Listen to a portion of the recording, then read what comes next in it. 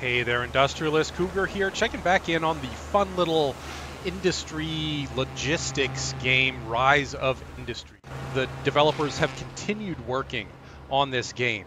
Uh, even though it has it reached 1.0 and they've made some significant improvements that make it a lot more playable and a lot more enjoyable I think in my opinion also a lot more accessible for new players so I'm actually gonna well, I don't really have to pause. I'm just going to leave it on slow speed for now uh, to show you what I've got set up already. So I started the game in a region, Kansas City, that had an ironmongery requesting steel products, steel plates, steel barrels, and cans.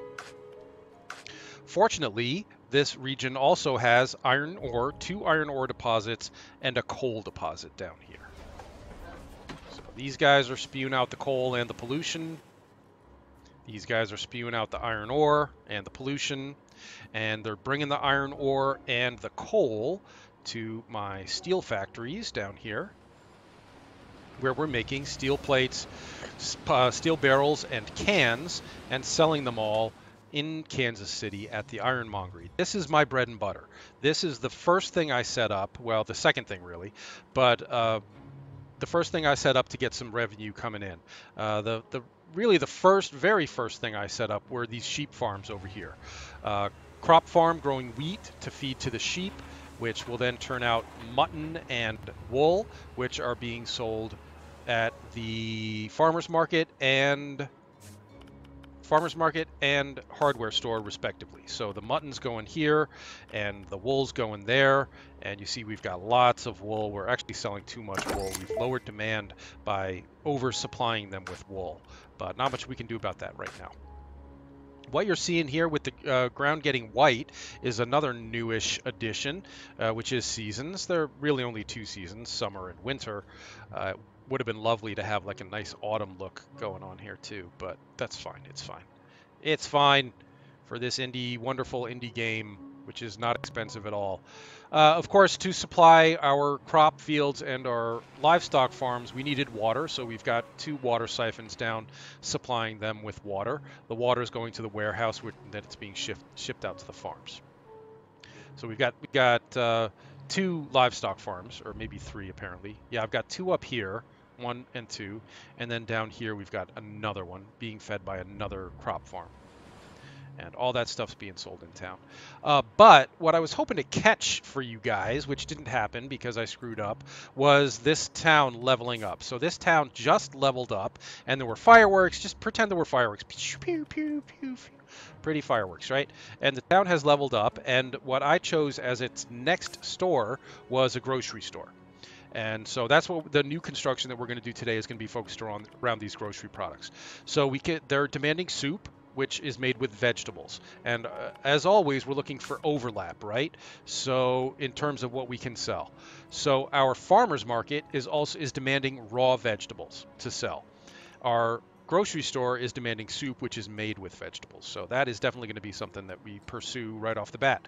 Uh, the farmers market is demanding oranges, and the grocery store is demanding orange juice. Perfect. Nice little overlap there.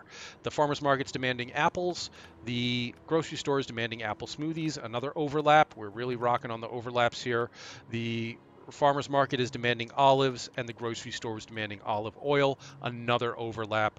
That's four awesome overlaps for us to exploit in our quest for world domination or at least a profitable industry. My my industries are profitable right now. If you look down here in the lower left-hand corner, you'll see that my total uh, bank balance right now is 11 million. Uh, I've, I've actually that's half of that is the result of a $5 million loan I took out that I can now repay in full if I wanted to.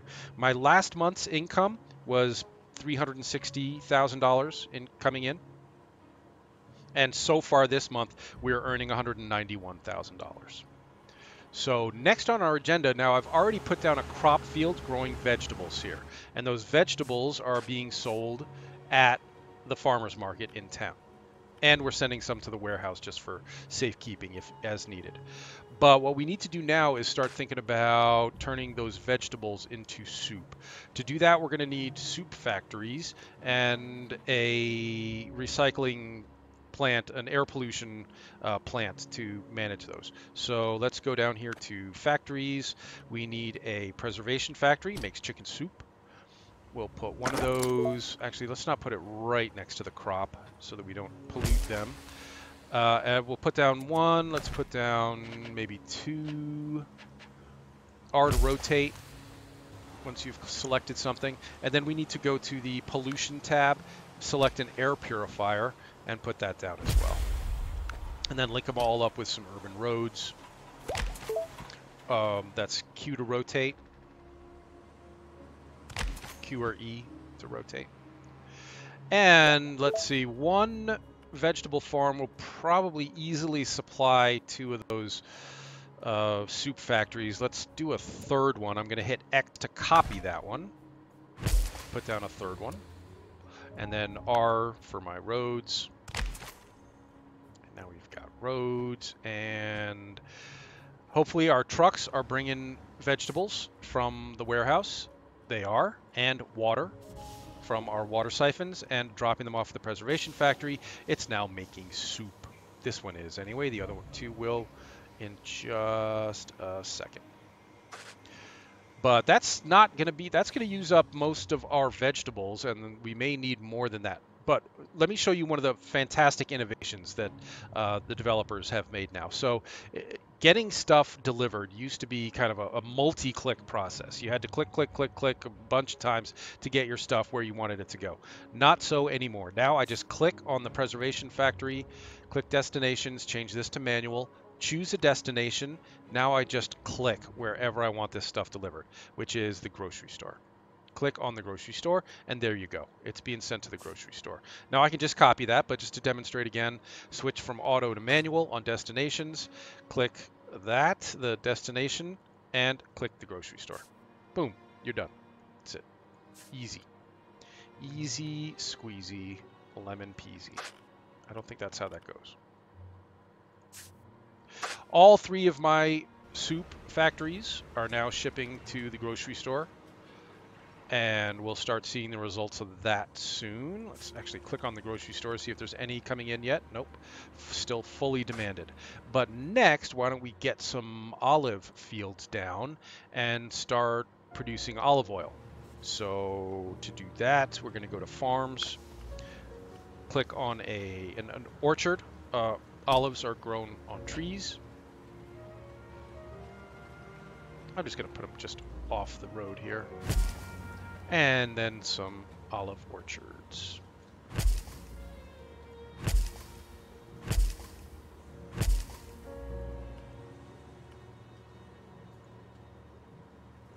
Uh, not within owner's range, okay. Okay, uh, hook that up with a road, R for the roads. Now we're growing olives. Now we'll make use of this existing air purifier to set up our olive oil factories there. Uh, the orchard is just waiting for water. It just hasn't gotten any water yet. Speaking of which, we can also, if I've researched it, Oh, we're still researching the olive oil, so I can't do anything with that yet. But let's see if I can build something to help. I'll build an irrigation tower to help supply all these farms around here with water. I'm going to put that right... Oh, I've got a perfect place for it right here next to the warehouse. Isn't the snow nice? The snow's pretty.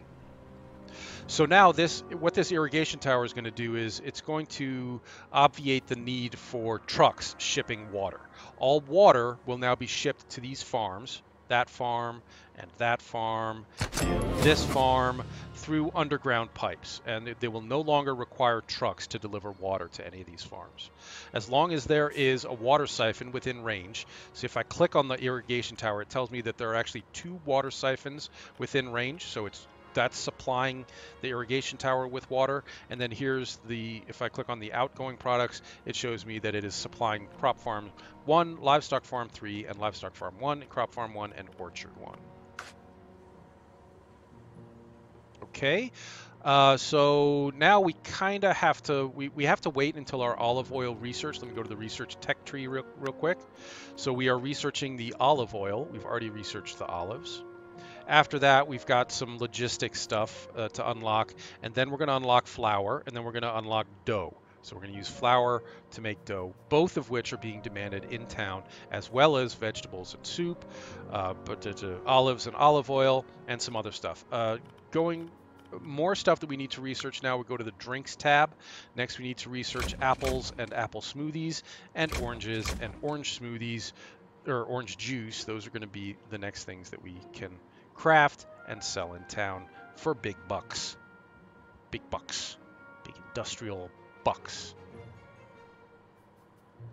We probably have enough water to go around here, but I'll bet we're right on the edge. Uh, these two water siphons are supplying one, two, three, four, five farms and the preservation factories making soup. Now, the, the, the irrigation tower is not going to supply the preservation factor, factories that are making the soup. They'll, they'll still require trucks. But I think we're probably stretching our water limits here. Let me just check the storage. No water being stored here at all. Let's check our warehouse. Well, there's 68 water being stored there, but I'll bet that will go down. If I sped up time, it's now at three times speed. I'll bet we would see that number. Eh, it's going up. It's, it's hovering at least at break even, so I'm not going to worry about the water right now. Moving on to something else to build. Oh, we just researched the olive oil factory, uh, olive oil. So now we can go to factories, go to, I believe that's made at a food factory. I'm almost sure, but let me just let me just triple check here. So back to the tech tree, go to the produce. Uh, that is made at a food factory. Yes, it tells me right there, able to produce olive oil at food factory let me just slow this back down a little bit. In fact, if we're going to be doing new construction, we should always pause before doing the new construction, and here's why. Here's the undo tool down at the bottom of the screen here. But you can only undo stuff that was done during while the game was paused. You can't undo stuff if the game is running.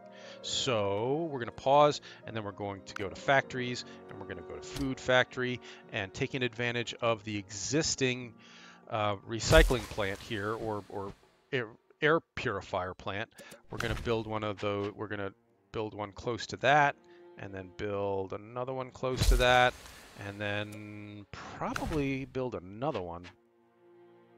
We're right at the edge of the warehouses range, though, so let's see if we can do this another way. Yeah, that's still within the air the warehouses range and still probably within range of the air purifier here. So I'm actually going to build four of these. And if we have to put down more olive oil fields, we can. R to bring up the roads. Make sure we hook everything up to a road. Okay, all four of those are hooked up to the road. Now what that's going to do is that's probably, I'll go ahead and speed time up again, but what that's probably going to do is use up all the olives from the olive field, which is not going to leave any left over for sale at the market, at the farmer's market. And remember, the name of the game here is to satisfy as many of the demands here in Kansas City as possible. Not necessarily fully supplied, but supplying them enough to make an impact and make them happy with us. So back to the farmer's market here. There, olives are still fully demanded even though we've already been selling them some. And olive oil is, of course, fully demanded because we just built the factories. They probably haven't even gotten their first ship shipment of olives yet. But I think what we want to do is build another olive field to balance out, you know, to at least supply. I'm just looking for a place to do this here. I think we could build another olive farm, olive orchard over here.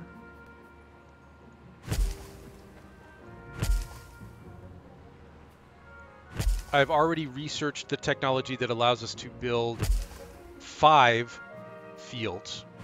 You start off being able to only build three, but that dude now has five.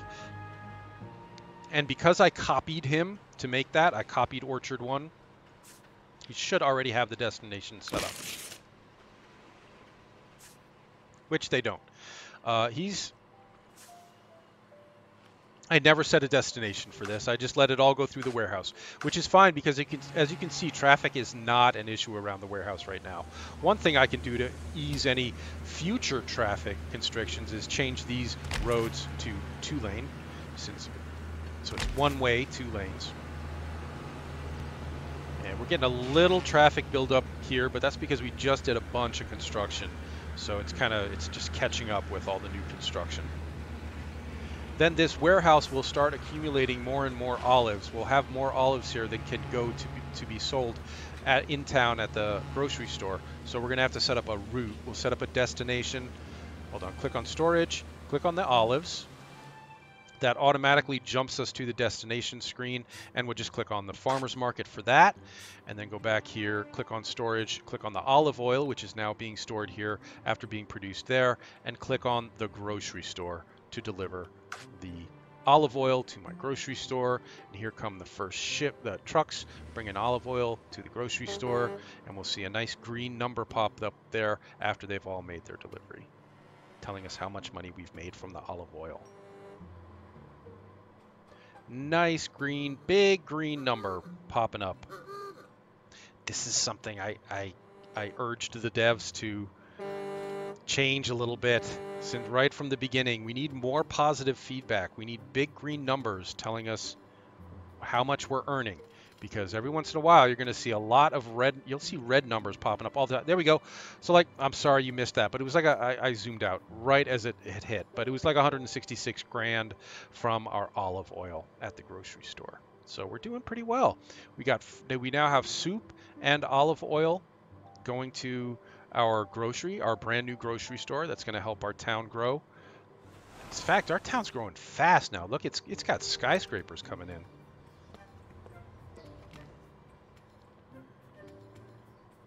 Good, good, good, good, good, good, good. We got a messy intersection here. I might try to do something about that at some point, but it's not too bad right now thanks for watching, guys. This was just a quick reminder that this game is out there and it is fun and it is addictive and it is continually being improved by the developers. It looks great, it sounds great, uh, the, the systems are working great. It's a lot more accessible for new players who want to play, who want to try it out. So I, I strongly encourage you to give it a shot if you think this kind of thing might interest you because it's fun. And, and I'm making, I made almost $700,000 last month. I'm sure we'll break a million soon as soon as we bang out this next batch of, of uh, research. So thanks for watching, guys. Leave a like and subscribe if you enjoy the rise of industry. Maybe I'll do some more of these. Um, stay profitable, industrialists.